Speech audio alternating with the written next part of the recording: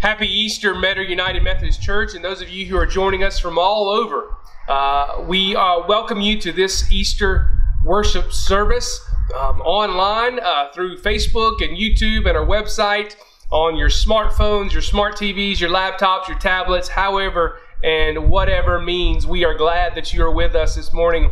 I, uh, if you're like me, your heart hurts that we are physically not able to be together this morning. Um, I hate it uh, as much as anybody. Um, we love the Easter celebration that we have on a normal Easter Sunday, but this is not a normal Easter Sunday. Uh, as you can see, I've got a cemetery behind me. We'll talk more about that uh, in a little bit. But we're glad to be with you this morning. Uh, I want to let you know that we have a new way for you to connect with us on our website at metterumc.com. There's an online worship tab, and underneath that tab is a connection card. You can click on that and fill that form out and let us know that you're worshiping with us this morning.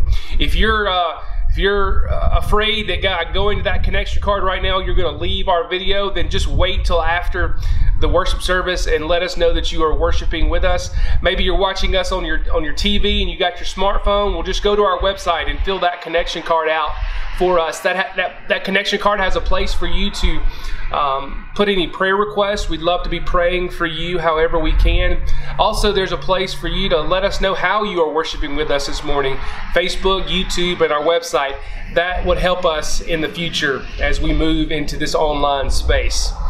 Uh, however, you are with us, and from wherever, we're glad you're with us.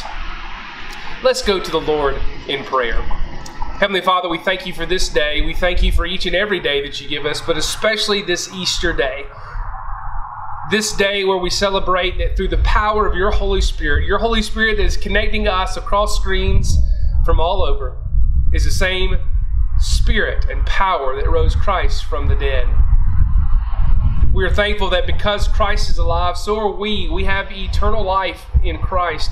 Because Christ sacrificed on the cross, He paid the penalty for our sin. That our relationship with you is, has been restored. And so we give thanks and praise to you, our Heavenly Father. Father, we pray that you would, uh, through your Spirit, be present with us this morning. Move in us and guide us. In the name of Christ we pray. Amen. As I went down in the river to play, studying about that good old way, and who shall the story crown? Good Lord, show me the way. Oh, sisters, let's go down, let's go down, come on down. Oh, sisters, let's go down, down in the river to pray. As I went down in the river to play, studying about that good old way, and who shall wear the story crown? Good Lord, show me the way. Oh, brothers, let's go down, let's go down, come on down. Oh, let's go down, down in the river to play. As I went down in the river to play, studying about that good old way, and who shall wear the starry crown? Good Lord, show me the way. Oh, mothers, let's go down, let's go down, come on down. Oh, mothers, let's go down, down in the river to play. As I went down in the river to play, studying about that good old way, and who shall wear the robe and crown? Good Lord, show me the way. Oh, fathers, let's go down, let's go down, come on down.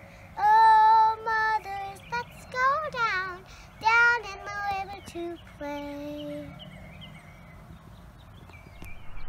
I want to let you know about a few things that are happening at the church this week. For our county, uh, it is spring break, and so we're going to be taking it a little easy. Uh, but we're going to still have Wednesday night online Bible study at 6:30. We are studying the book of Galatians, and so we invite you to join and be a part of that.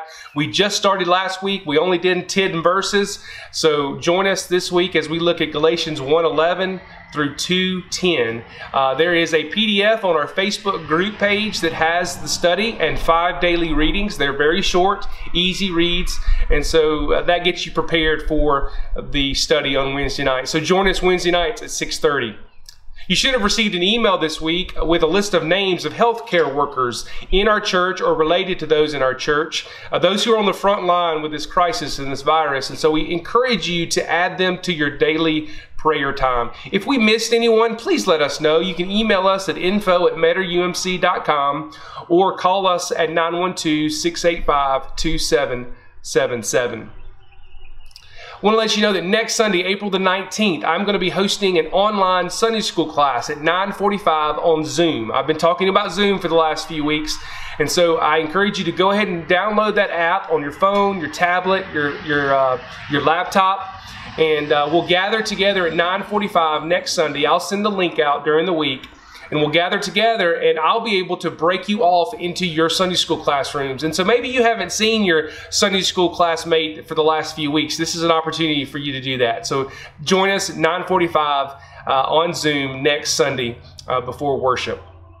Lastly, I want to thank you for your generosity during this time. We know that for many of you, it is a difficult thing, and so we appreciate anything you're able to give to the to our church. Um, and uh, it's not really about donations or contributions, but it's about worship.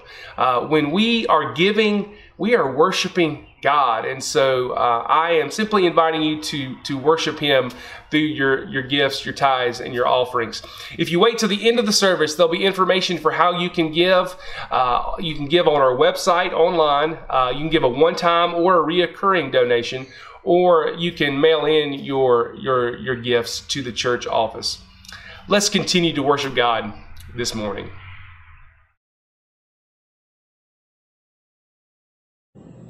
Hello, everyone. It's a beautiful Easter morning, and aren't we blessed?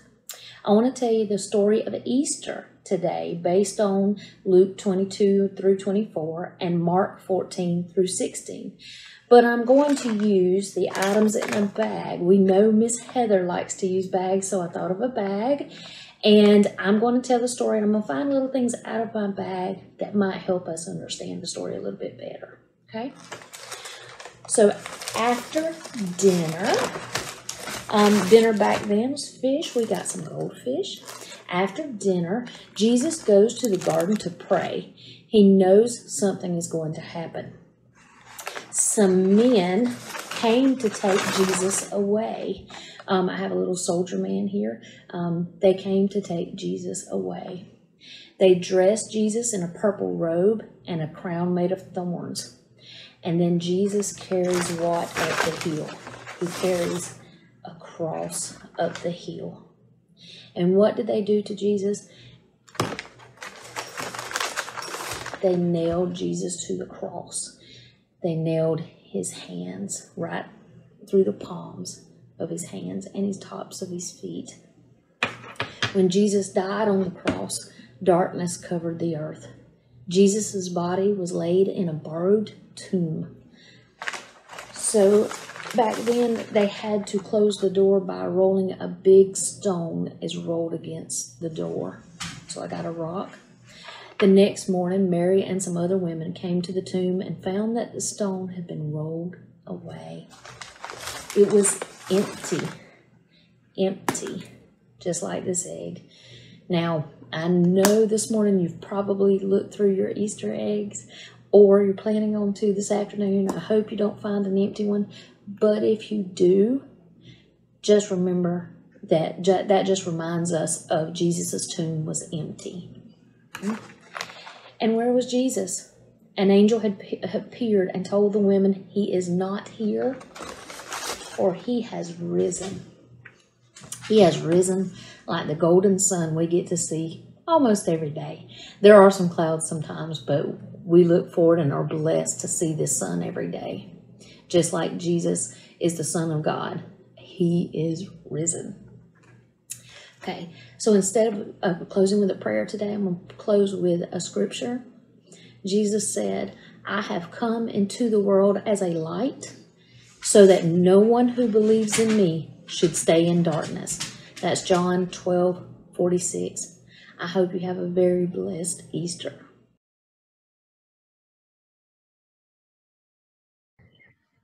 I believe in God the Father Almighty, maker of heaven and earth.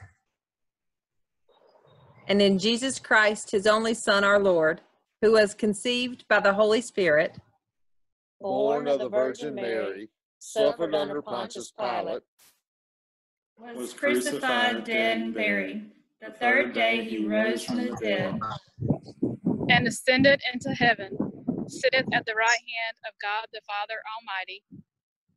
From there he will come to judge the living and the dead. I believe in the Holy Spirit, the Holy Catholic Church, the communion of saints, the forgiveness of sins, the resurrection of the body, and the life everlasting. Amen. Amen. Amen. Amen. Oh,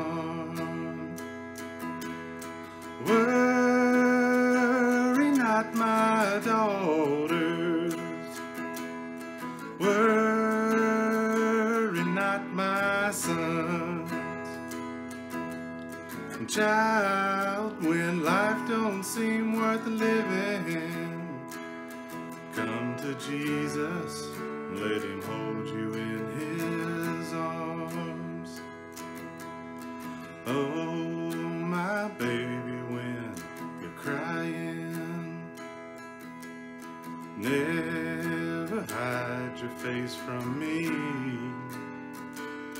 I have conquered hell and driven out the demons. I have come with the light to set you free. Worry not, my daughters.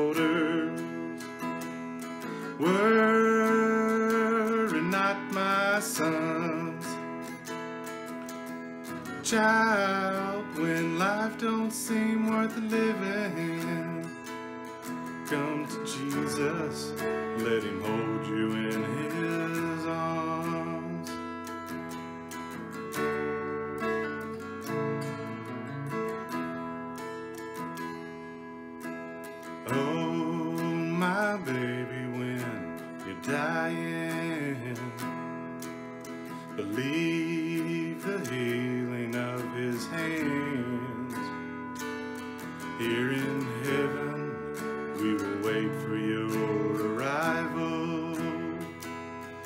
Here in heaven,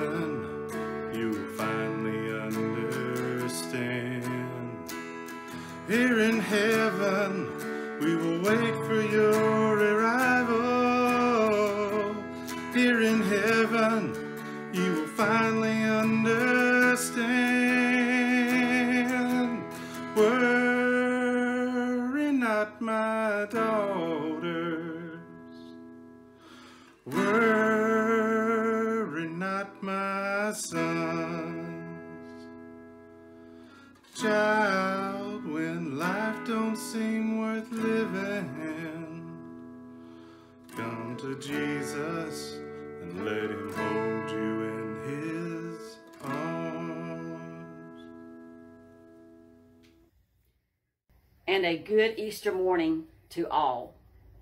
Our scripture this morning is from the book of Luke, chapter 24, verses 36 through 49. Now, as they said these things, Jesus himself stood in the midst of them and said to them, Peace to you. But they were terrified and frightened and supposed they had seen a spirit. And he said to them, Why are you troubled? And why do doubts arise in your hearts? Behold my hands and my feet, that it is I myself. Handle me and see, for a spirit does not have flesh and bones, as you see I have. When he had said this, he showed them his hands and his feet. But while they still did not believe for joy and marveled, he said to them, Have you any food here? So they gave him a piece of a broiled fish and some honeycomb. And he took it and ate in their presence. Then he said to them, These are the words which I spoke to you while I was still with you, that all things must be fulfilled which were written in the law of Moses and the prophets and the Psalms concerning me. And he opened their understanding that they might comprehend the scriptures. Then he said to them, Thus it is written, and thus it was necessary for the Christ to suffer and to rise from the dead the third day, and that repentance and remission of sins should be preached in his name to all nations, beginning at Jerusalem. And you are witnesses of these things. Behold, I send the promise of my Father upon you, but tarry in the city of Jerusalem until you are endued with power from on high. This is the word of God for the people of God. Thanks be to God. I want you to imagine that first Easter morning. The disciples were still grieving the loss of their rabbi, their, their, their teacher, their Jesus, the Messiah. How could this be? How could the Savior of the world be dead? How can a Savior save anyone when they're dead? The disciples were gathered together this Easter morning. John's gospel tells us that they were locked away in a room for fear of what the Jewish leaders might do to them. The Jewish leaders had nailed Jesus to a cross. Who knows what they might do to the disciples next? But some strange and unbelievable news was swirling around that morning. The women among the disciples had gone to the tomb that morning after the Passover was finished to finish preparing Jesus' body for burial. They had gone to their equivalent of a cemetery, where I'm standing right now. But when they arrived at the tomb, the stone to the entrance had been rolled away. And when they went inside, there was no body. Obviously, they were surprised and they were confused, but at that moment, two angels appeared to them and told them amazing news Jesus was alive. He is risen. So the so the women, they rush back to the 11. Remember, Judas is no longer with the disciples. They run back to the, the disciples locked away in fear to tell them this news. And, and when they get there and the women are talking, the disciples can't understand anything they're saying. The women were probably talking so fast, so excited, so confused, they're talking over one another, trying to tell the disciples what they had learned and they aren't making any sense. You ever gotten so excited about telling someone something that you end up not making much sense? Our kids do this sometimes. They learn something, they find something out, they, they've done something, and, and uh, one of us parents, we walk in the room and, and they all want to be the first one to tell us, and they all end up talking over each other, not making much sense. I think that's what happened with the women and the disciples that first Easter morning. So the disciples, they don't believe them, except for Peter. Or at least Peter wanted to see for himself. So he gets up, he rushes out of that locked room, he runs to the tomb. He looks inside, and there he sees that Jesus' body is indeed gone. He's not quite sure what to make of it, but at least he's seen it for himself. In the meantime, two other disciples of Jesus, not members of the eleven, they are leaving the city of Jerusalem on the road to Emmaus. Perhaps they were in Jerusalem for the Passover festival. Maybe they were there for Jesus' triumphal entry into Jerusalem on Palm Sunday. We don't know. But they're, they're leaving Jerusalem on the way to Emmaus and they're walking and they're talking about Jesus' death. And while they are talking, Jesus joins them on the road, the road to Emmaus. Jesus joins them, but they don't recognize him. They walk and they talk, and Jesus begins to tell them about himself using the Old Testament prophecies about the Messiah. When they arrive in Emmaus, uh, the two disciples ask Jesus to eat with them, still not knowing that it was Jesus. As soon as Jesus breaks the bread, though, and he gives thanks, the eyes of the disciples are opened, and also Jesus disappears.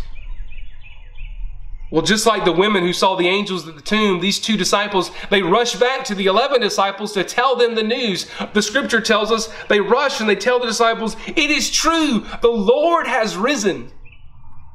And the whole room begins to talk about this amazing, confusing, wonderful news. Could it be that Jesus is alive? And it's at this exact moment where our scripture begins. While they were talking about all of this, Jesus himself stood among them and said to them, Peace be with you. I don't know about you, but I just got chills. The risen Jesus showed up behind locked doors to an isolated, scared group of followers of Jesus, a group of people who don't know what the future holds, and he says to them, Peace be with you. Can you imagine? Can you imagine what that must have been like for those disciples? Can you imagine that first Easter morning? Well, here's the thing. This Easter morning, April 12th, 2020, we don't have to use our imagination very much. For the first time in most of, if not all of our lives, we are spending this Easter morning in much the same way as those first 11 disciples. We are sheltering in place. We are holding up and hunkering down in our own homes, physically distant from one another, wondering what the future holds. Now, of course, we're not holed up in fear behind locked doors because someone's going to bang them down and drag us out. But perhaps we are fearful of an invisible virus that could cause harm to us or our family members, potentially grave harm to us. And now more than ever, we need Jesus to walk in our midst and speak these words to us Peace be with you. Peace be with you. Peace be with you. Can you imagine what those words must have been like, eh, must have done for those first disciples? They were scared, they were confused, they didn't know what to believe. They had heard Jesus was alive, but they were they weren't completely sure. I mean, except for Lazarus, how many dead men had they seen come back to life? Yet Jesus appears behind locked doors to those first disciples who were sheltering in place and speaks to them, Peace be with you. This Easter morning, as you are sheltering in place, isolated from loved ones, those that you care about, perhaps you are scared, perhaps you are uncertain, perhaps you are uh, confused and disoriented, just like those first disciples. I want you to hear this morning fresh words from Jesus Peace be with you. This morning, perhaps more so than any other Easter morning in our lifetime, we are put in the shoes of those first disciples, and we don't need to run away from that. We need to lean into it. And just like them, we get to experience the risen Jesus say to us, Peace be with you.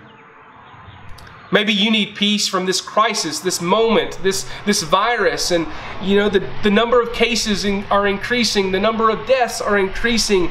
You need to hear a word of peace this morning. So peace be with you. Maybe you need peace this morning from your family, your loved ones that you are sheltering in place with right now. I'm, I'm sort of joking, but I'm not really. It's kind of difficult to be cooped up with one another for so long, and we have so many more days ahead of us. So, peace be with you. Perhaps you need peace from an addiction, a destructive behavior that you cannot conquer on your own.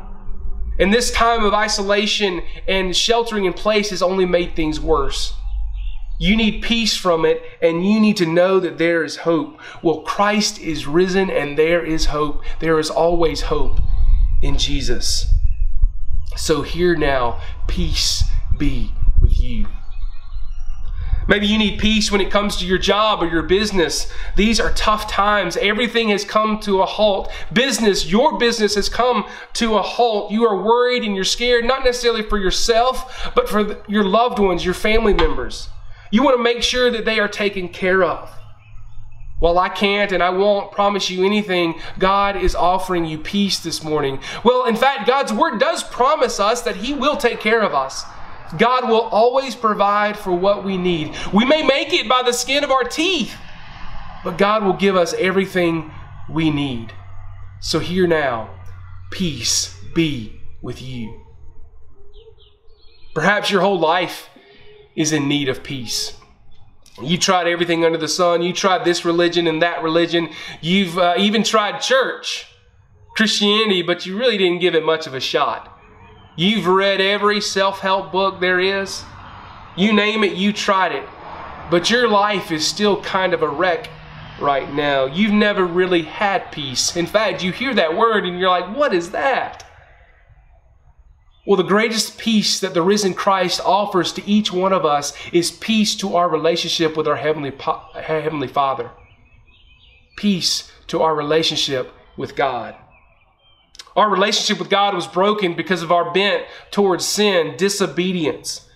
And there's no way to mend that relationship. Nothing worked except for a perfect sacrifice. And Jesus was that perfect sacrifice because he lived a, a, blameless, sinless life before God. And so Jesus died the death that we were meant to die because death is the penalty for sin. And when Jesus rose from the dead on that first Easter morning, he not only paid our debt for our sin on the cross, when Jesus, the risen Jesus, broke the power of sin in our lives. Sin no longer has a hold on us. We can choose not to sin and we can choose to live into the freedom and the peace that Christ offers us all. So maybe this morning, your whole life, your, your whole soul needs peace. Christ is offering you that this morning.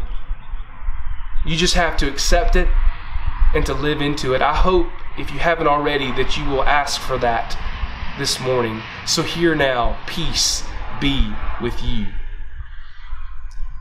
This Easter morning, Jesus is in our midst. Wherever you are, He is there. He is risen and He is offering us a word of peace to our human hearts. But God also understands that those words might not be enough. Those words of peace were not enough for those first 11 disciples that first Easter morning, even though they were looking at the risen Jesus in the flesh and they heard the words, Peace be with you, they still had trouble believing. So here's what Jesus did He showed them His hands and His feet. He showed them the nail marks and He invited the disciples to touch those marks. Can you imagine touching the holes in Jesus' hands and feet? This is what Jesus invited those first disciples to do so that they would believe.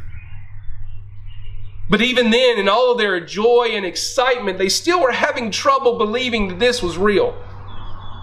So Jesus does one more act. He asks for something to eat. Now, I've never been dead for three days and come back to life, but I'd imagine if I did, I'd be hungry too. I get hungry at three hours after eating breakfast. I can't imagine after three days being dead. And we're not sure if Jesus had anything to eat while he was in prison and waiting trial. So we could be talking longer than three days. But Jesus is not eating because he's hungry. Jesus is eating to prove a point. He's proving the point that he is risen, that Christ is risen indeed. He's not a ghost, but he is Jesus in the flesh. He is alive. Jesus has showed the disciples his hands and feet, invited the disciples to touch them, and now he's eating food, all to prove a point, all to help them believe. He does all these things so that they will not only hear the words, peace with you, but they would receive peace.